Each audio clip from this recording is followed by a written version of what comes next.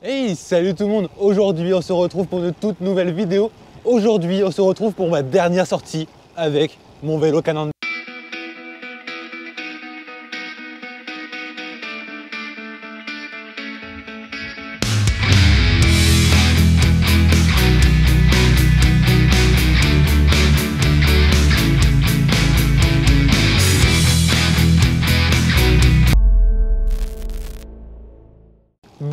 Effectivement, pour tous ceux qui me suivent vraiment, qui ont donc regardé les vlogs ou Instagram, j'ai laissé paraître quelques informations, comme quoi peut-être que je changerai de vélo dans les jours prochains. Effectivement, aujourd'hui on est mercredi, demain on est jeudi et je reçois mon nouveau vélo.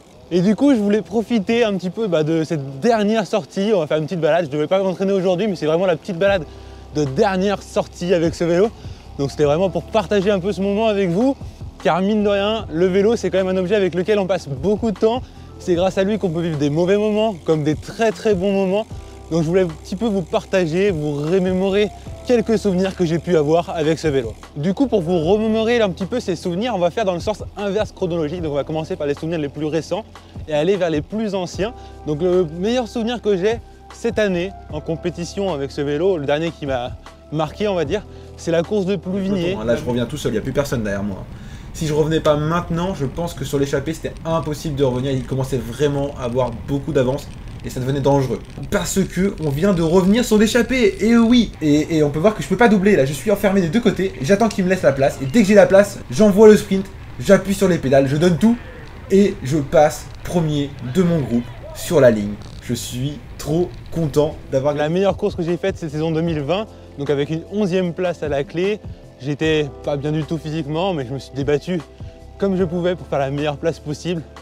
Finalement, je m'étais pas trop mal débrouillé, donc c'est vraiment la course que je retiens cette saison, la course qui m'a fait plaisir, qui m'a donné un peu le sourire, point de vue résultat, parce que sinon, j'avais pas trop la joie. Donc voilà pourquoi cette course fait partie des meilleurs souvenirs avec ce vélo. Bon, j'ai quand même deux autres souvenirs qui étaient majeurs. C'est tout simplement le road trip en Normandie. J'étais donc avec ce vélo-là, forcément avec Alexandre Marlier, un road trip de 240 km de mémoire. Donc autant vous dire que c'était la plus longue sortie de ma vie que j'ai faite avec ce vélo-ci aussi. Donc c'était vraiment un super moment, même si c'était dur physiquement, que j'ai fini, j'étais complètement mort. Mais après coup, on se dit, bah je l'ai fait et ça c'est beau.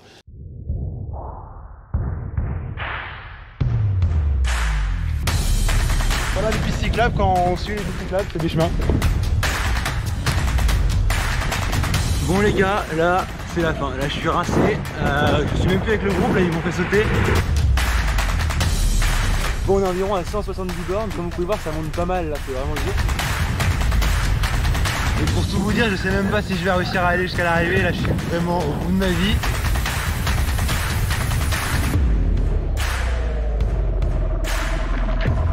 Ça va gros? J'ai aussi fait le road trip en Bretagne avec Alexandre Marié un road trip qui était compliqué point de vue temps. On a eu vraiment du très mauvais temps. C'était dur physiquement aussi. C'était long, c'était sur plusieurs jours. Mais qu'est-ce que c'était bon une fois que c'était fini? Ça fait des vidéos super géniales. Et j'en suis vraiment, vraiment très content, sincèrement. Est-ce que ça serait pas une petite crevaison? Regarde la campagne, là on est perdu. Mon vélo il s'envole. Là c'est pas possible.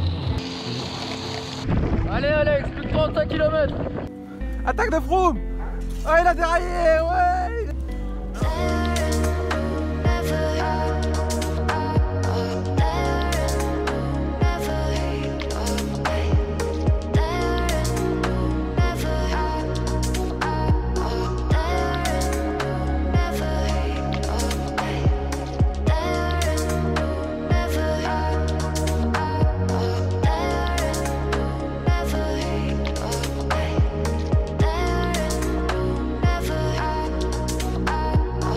Donc ça c'est un petit peu ce qui s'est passé cet hiver.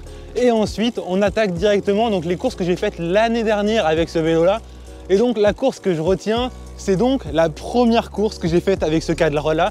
Tout simplement parce que comme vous le savez j'ai cassé le même cadre. En fait j'avais le même cadre que celui-là avant mais en noir, pas en rouge comme celui-ci. Et en fait je l'ai cassé en Belgique, donc euh, totalement par usure. En fait il y avait un problème de fabrication a priori au niveau du cadre, au niveau du pédalier tout simplement. Donc voilà, j'avais cassé mon cadre. Et donc la première course que j'ai fait avec ce vélo-là, on avait pris le même cadre pour pas que je sois déboussolé, que c'était exactement pareil, il y avait juste la couleur qui changeait.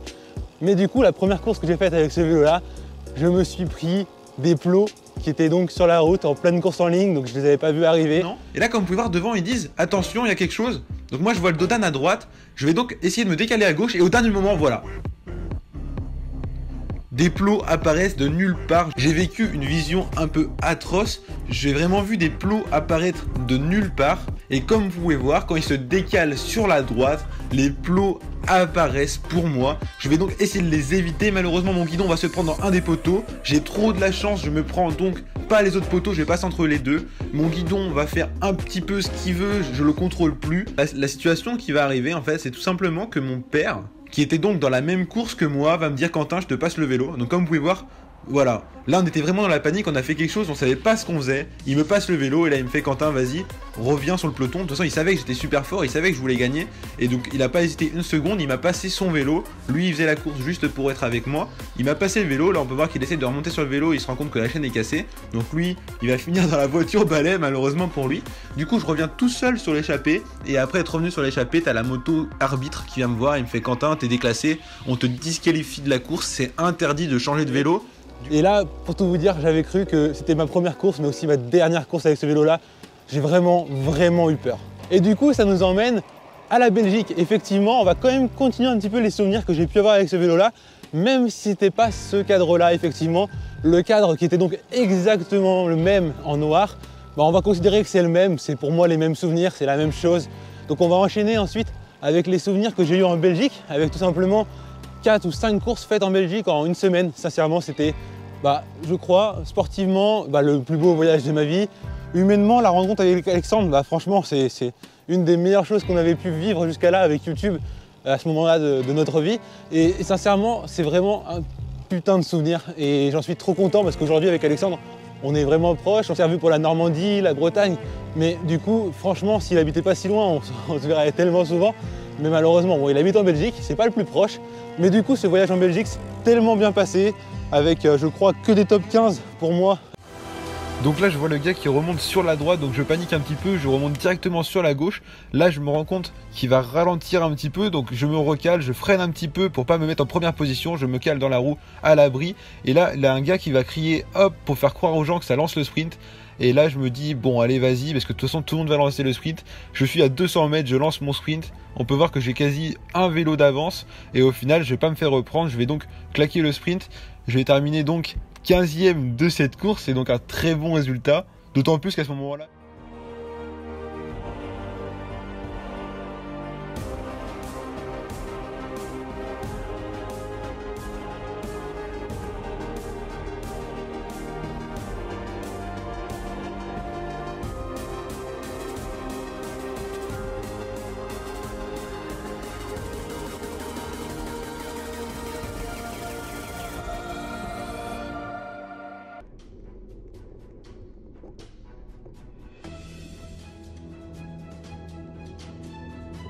Et dès que je vais sentir que le gars qui est devant moi va un petit peu s'affaiblir, je vais lancer mon sprint pour pas perdre de temps. Et comme vous pouvez voir, je vais prendre directement beaucoup, beaucoup d'avance. Je vais lancer le vélo sur la ligne, mais au final, je vais avoir presque 3 vélos d'avance. Donc des très très bons résultats et la victoire à Vaudigny. Donc vraiment, bah voilà, le meilleur souvenir, c'est cette victoire tant recherchée par ce voyage. Je voulais vraiment revenir avec un bon résultat.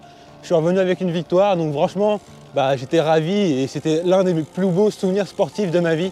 Donc autant vous dire que voilà, ça je le marque et je le retiendrai très longtemps. La partie où il y avait un peu plus de vent de face, autant vous dire qu'à ce moment-là de la course, je suis totalement éclaté, je suis à bloc, je suis mort, je suis explosé, tout ce que vous voulez, je suis KO. Comme vous pouvez voir, le mec qui était donc en élite et qui était en train de s'énerver sur moi, il était en train de m'engueuler en flamand, je comprenais rien. Donc là, il était en train de me serrer, clairement, il m'a foutu dans le fossé là à ce moment-là. Il voulait pas me laisser passer. Donc quand je voulais passer à gauche, il me serrait dans la gauche. Quand je voulais passer à droite, il me serrait à droite. Et en fait, il voulait vraiment pas me laisser passer. Il voulait que je prenne cher. Il voulait que je finisse dans le fossé. Je sais pas ce qu'il voulait. Mais en tout cas, il voulait pas que je réussisse à prendre les roues. Là, comme vous pouvez voir, je vais remonter les deux autres. Et je vais gagner le sprint. Donc je fais deuxième de cette course. C'est ma première place, mon premier podium. Et en plus, vu que l'autre n'était pas dans ma catégorie, je gagne donc la course. Je suis donc premier j'ai remporté ma première victoire en vidéo, ma première victoire de l'année, ma première victoire en Belgique. Bon, bah ça s'est bien passé finalement. Bah ouais, t'as gagné. euh, Effectivement, je peux pas faire beaucoup mieux. Mais c'est clair. Donc euh, petit bouquet, petite euh, bière belge. Et euh, du chocolat, on a eu et du chocolat, lui il a gagné du chocolat, ce qui fait cinquième au final. Ouais, Donc euh, on fait bah, premier et cinquième, Et donc c'est ouais. pas trop mal. Euh, bah, c'est une bonne nouvelle. carrément, mec. Donc la moisson belge est terrible. T'es pas sorti du top 15 13, 15, premier. Et du coup aussi avec ce cadre noir, on va l'appeler comme ça, j'ai eu pas mal de choses négatives, c'est-à-dire beaucoup de soucis mécaniques. Forcément le cadre était défectueux, il était en train de rendre l'âme et comme vous le savez il a cassé par la suite. Donc forcément j'ai eu des soucis et ça m'a gâché quand même pas mal de courses sur la saison 2019. Entre Saint-Géréon où j'avais la chaîne qui faisait des nœuds, Là, j'enlève la main, j'essaie de remettre avec les doigts tout simplement. Et là, je me rends compte qu'en fait, il y a des nœuds dans ma chaîne. Il y avait trois nœuds dans la chaîne, c'était impossible à remettre. Et quand je vous dis des nœuds, je sais pas, j'avais jamais vu ça. J'arrivais vraiment pas à les enlever, j'étais vraiment en panique. Là, vous allez m'entendre demander à un inconnu de m'aider. Regardez avec ma petite voix tremblotante. Vous savez à peu près vous débrouiller ou pas J'ai un nœud là, je sais pas comment. Je sais pas pourquoi. Je sais pas comment faire. Châteaubriand j'ai fini la course à pied alors que j'étais pour la gagne et que je finis cinquième. Sauf que là derrière, je me retourne, je vois le peloton qui arrive pleine balle, sprint, peloton groupé, ils arrivent super vite. Et là à ce moment-là, il me reste environ 100 mètres pour finir la course. Et là je me mets à courir tout simplement, je finis la course en courant comme vous pouvez voir les images. Je finis cette course en courant, voilà. Comme vous m'avez beaucoup dit sur Instagram, comme Froome a pu faire. Putain, cinquième. Oui, oui, je- mais je- oui, mais mais c'est hyper bien, même en, en ayant un truc de merde, t'as réussi à être bien. Parce que tu vois, tu voulais être dans l'échappée? Ouais, super, mais je voulais pas finir à pied. Oui, bah ça va. Voilà, bravo Mathieu. Hein. Normalement, Mathieu, tu le crédit à cette Putain, en plus, ça me saoule, j'étais chaud. J'attends le verdict Bah ouais, de hein, mais je Je sais bien, je t'ai vu. Tout à l'heure, Mathieu. Voilà, on attend le final derrière. Et je vous passe bien sûr tous les autres soucis techniques que j'avais eu cette saison-là. hein. D'ailleurs, ça m'a fait ma petite réputation de mec qui a toujours des problèmes. Alors que cette année, par exemple, avec ce nouveau cadre, j'ai eu aucun souci, à part une fois, et c'était parce que la chaîne était morte, donc on l'a changé. Et depuis, plus aucun souci. Mais voilà, ça m'a quand même fait ma petite réputation de mec à problème, alors que c'était tout simplement le cadre qui avait un problème. Mais bon, voilà, c'est pas grave. D'ailleurs, sur cette année 2019, je retiens aussi que j'ai participé pour la première fois à des courses élites, donc le plus haut niveau euh, français, on va dire. Donc autant vous dire que c'était des belles courses. Moi j'ai fait les boucles de la Loire et les vallées de la Loire où j'ai même pas tenu 30 bornes je crois. J'ai explosé direct et j'ai abandonné parce que j'étais mauvais, hein, j'étais pas assez fort pour des courses élites tout simplement. Et à ce moment-là, comme vous pouvez voir, la cassure est déjà faite devant moi. Les 5 personnes devant moi se sont écartées. Et du coup, j'ai un trou à boucher qui est juste impossible. D'autant plus que j'étais à la limite de craquer moi aussi, j'étais vraiment mort de chez mort. Et c'est donc là que j'ai pété du peloton. Je vais jamais réussir à revenir dans ce peloton malheureusement. Pourtant. Et surtout je retiens le tour de Loire-Atlantique, donc euh, élite aussi. Une course à étapes, ma première course à étapes élite de ma vie forcément.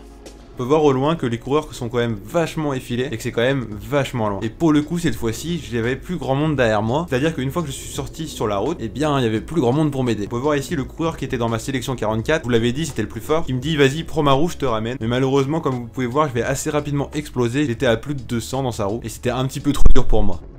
Malheureusement, je vais totalement décrocher. Et là, je vais me mettre derrière la voiture de Lucénant. On va faire un petit peu de derrière voiture en espérant réussir à revenir derrière le peloton. Et là, on peut voir que ça roule très vite. Nous sommes à 45 km/h en moyenne. Ça roule très très vite, mais les voitures, il y en a absolument partout. Simplement parce qu'avec les crevaisons des chemins et tout, c'était vraiment le bordel. Et ce que tout le monde redoute quand on est derrière voiture, c'est ça, c'est que ça pile juste devant nous. Et là, je peux vous jurer que je me suis fait la peur de ma vie. En fait, sur la GoPro, ça a l'air beaucoup beaucoup moins impressionnant que ce que j'ai réellement vécu. Mais en fait, j'ai vraiment touché la voiture. C'est-à-dire que mon pneu, il était totalement fumé à l'avant quand j'ai regardé après. Mais j'ai vraiment touché la voiture, j'ai failli tomber, ma roue arrière s'est levée. Enfin, c'était vraiment très très limite. Le gars qui était à côté de moi de Cholet, je crois qu'il est tombé un petit peu sur le côté dans le fossé. Et du coup, à partir de là, j'ai été totalement à bloc. Simplement parce que comme vous pouvez voir, la voiture de Nantes va accélérer très vite. Et je vais me retrouver totalement esselé sans voiture. Parce que j'étais totalement à bloc. La frayeur de la chute m'a fait perdre énormément de force. Je suis reparti un petit peu à l'arrêt. Et à partir de là, je vais être en galère totale. Vous pouvez voir là, toutes les voitures s'arrêtent. Du coup, je me dis, ça y est, je vais revenir sur le peloton, super. Mais en fait, pas vraiment. C'est-à-dire qu'il y a eu un problème sur la route. Un camion a bloqué la route apparemment. Et là, je vois coureurs partout. Je comprenais plus trop ce qui arrivait. Mais en fait, la course a été neutralisée. C'est-à-dire que la course a été mise en pause pendant de longues, longues minutes. On va tous finir respectivement 75e, 76e et 77e. On était tous dans le même groupe éto. Et nous avons fini à environ 15 minutes des vainqueurs.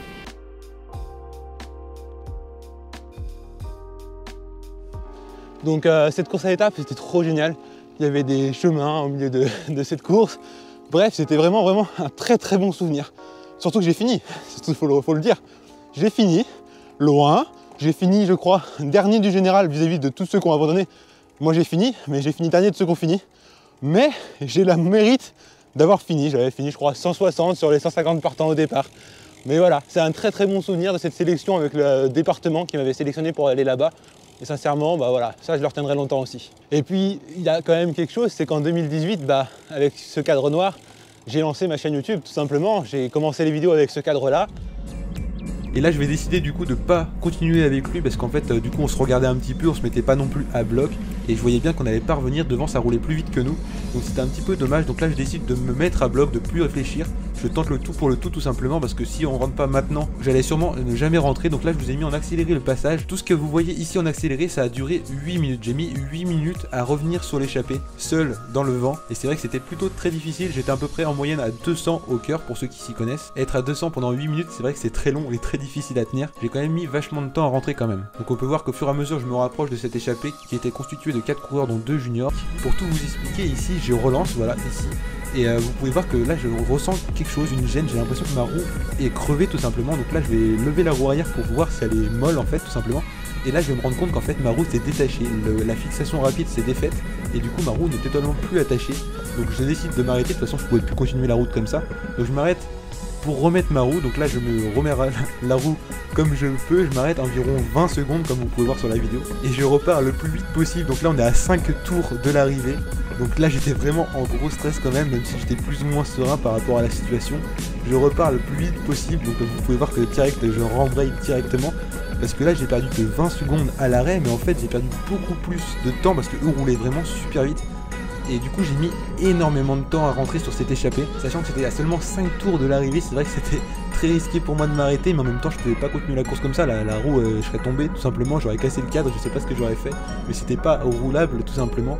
Donc là, je vous mets en accéléré tout le temps, je me suis retrouvé tout seul derrière l'échappée. Donc on peut voir aussi que je rattrape deux mecs qui sautent de l'échappée parce que devant ça roulait vraiment très fort. C'est pour ça que j'ai mis énormément de temps à rentrer. J'ai mis plus de 9 minutes 30 à rentrer sur cette échappée. J'ai mis euh, deux tours je crois pour rentrer dessus. Et c'est vrai que ça m'a fait vraiment vraiment très mal avant l'arrivée. Et c'est d'ailleurs ça qui m'a coûté la victoire. J'ai fait mes premières cyclosportives aussi avec ce cadre là, comme la Hello Tassin ou les amis du cyclisme.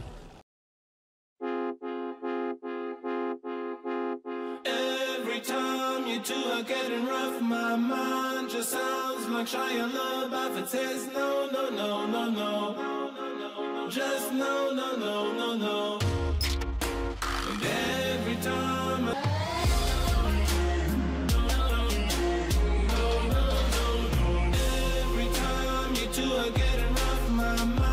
Sounds like trying love, but it's no, no, no, no, no.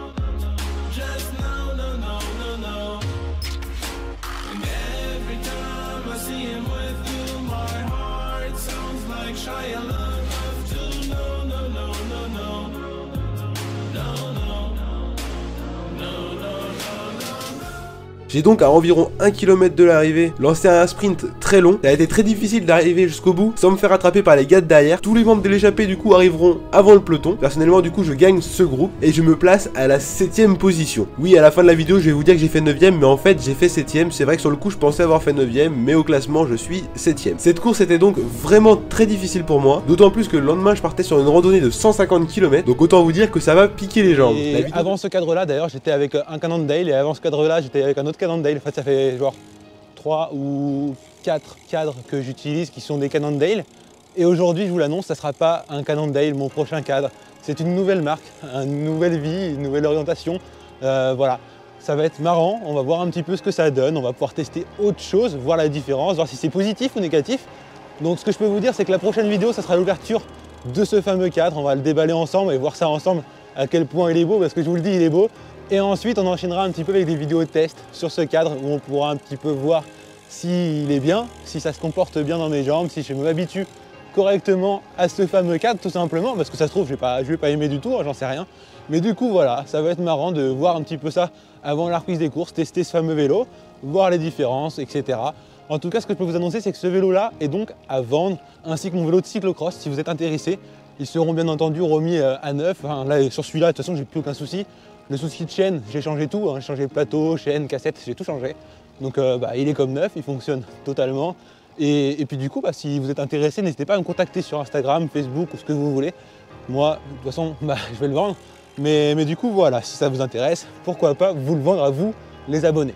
Je profiterai aussi de l'hiver pour faire une vidéo un petit peu sur tout le matériel que j'utilise, pas seulement le vélo, mais aussi euh, les roues, le compteur, etc. Je vous ferai une vidéo comme ça aussi cet hiver. Profitez un petit peu qu'il n'y ait pas de course pour faire des contenus un petit peu différents. En tout cas, si vous avez des idées de vidéos à réaliser durant cet hiver avant que les courses reprennent, n'hésitez pas à me le dire dans les commentaires, hein. il n'y a pas de souci. Je prendrai en compte tout ce que vous pourrez me dire. Et puis bah, moi sur ce, je vous laisse avec quelques images du Cannondale, un petit peu souvenir, rétrospective. Et puis bah à la prochaine pour une prochaine vidéo. Bye bye.